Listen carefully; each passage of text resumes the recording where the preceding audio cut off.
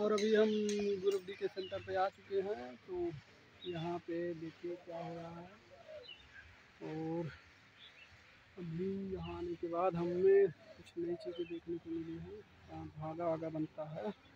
और अभी लोग देखिएगा कि यहाँ पे क्या ही बन रहा है क्या हमको तो समझ नहीं आ रहा है।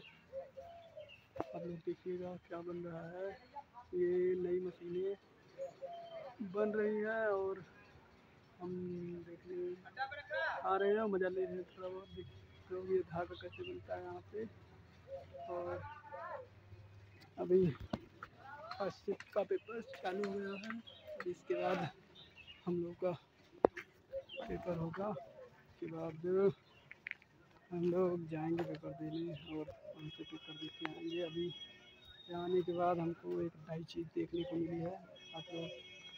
कर बताइएगा कि क्या चीज़ है।